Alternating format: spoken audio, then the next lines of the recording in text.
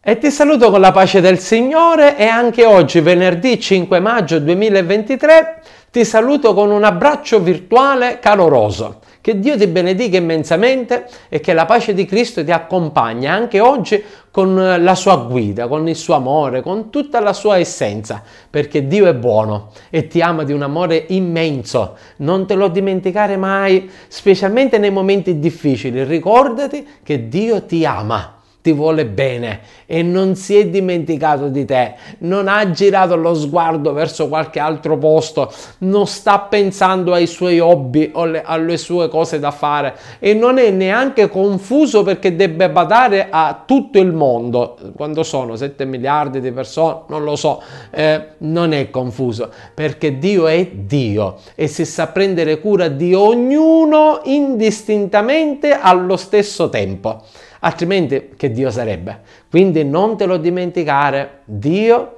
ti guarda, sei sotto il suo sguardo, stai sereno, non temere. Detto ciò vogliamo ascoltare la parola di Dio, il consiglio che viene dalla parola del Signore che questa mattina dice proprio così. I morti furono giudicati, ciascuno secondo le sue opere. Le testo tratto dal libro dell'Apocalisse capitolo 20 versetto 13 ed ancora non ci si può beffare di Dio, perché quello che l'uomo avrà seminato, quello pure mieterà. Testo tratto dalla lettera ai Galati, capitolo 6, il versetto 7. Il titolo di questa meditazione biblica è questo, il quadro. Molto tempo fa un ricco signore stava visitando una galleria d'arte quando la sua attenzione fu attirata da un dipinto che raffigurava una donna povera circondata dai suoi bambini. E con uno sguardo supplichevole la donna tendeva la mano a un uomo dallo sguardo duro. Si capiva benissimo che il suo cuore era insensibile alla miseria di quella donna e dei suoi poveri bambini. Il visitatore restò come pietrificato. Gli tornò in mente un episodio di alcuni anni prima e non poté fare a meno di riconoscere se stesso nello sguardo duro e indifferente dell'uomo del dipinto. Le lacrime di una sua inquilina povera, che lui aveva sfrattato perché non poteva pagargli l'affitto, lo rimproveravano e lo turbavano. Era stata indifferente alla sua povertà e l'aveva messa sulla strada con i suoi figli guardò il nome dell'artista e fu ancora più impressionato. Non c'era alcun dubbio, si trattava proprio di lui. Il dipinto era firmato da uno dei figli di quella donna diventato nel frattempo un celebre pittore. Ora l'uomo ricco si trovava tu per tu con le proprie malvagie azioni. La vista di quel quadro gli era insopportabile. Se fosse stato possibile l'avrebbe distrutto. E verrà il giorno in cui anche tu, se non avrai creduto al Signore Gesù, dovrai rivedere la tua vita come in un film.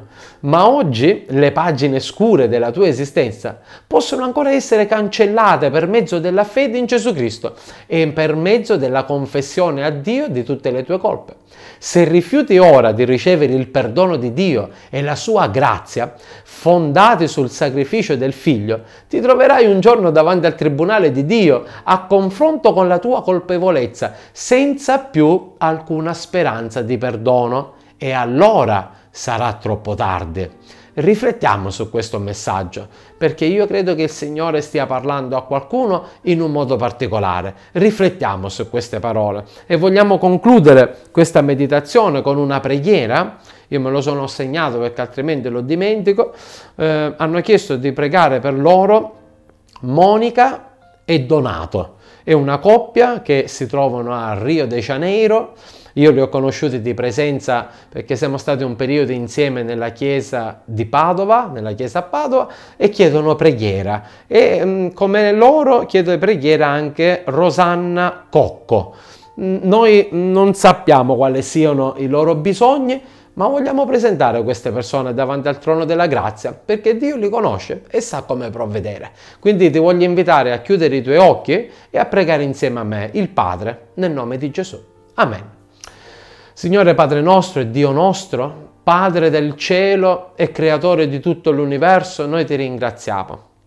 Ti ringraziamo innanzitutto per il messaggio che ci hai dato questa mattina, perché è un messaggio forte forse, sicuramente, però è un messaggio anche di amore, perché tu non parleresti mai in questi termini se non sia per il tuo grande e immenso amore. Quindi ti ringraziamo e ti preghiamo che tu possa aiutarci a vivere questo giorno e i giorni a venire con questa, con questa, sensibilità nel nostro cuore, di stare attenti alla tua parola e a quello che eh, dobbiamo eh, rispondere nella nostra vita verso di te.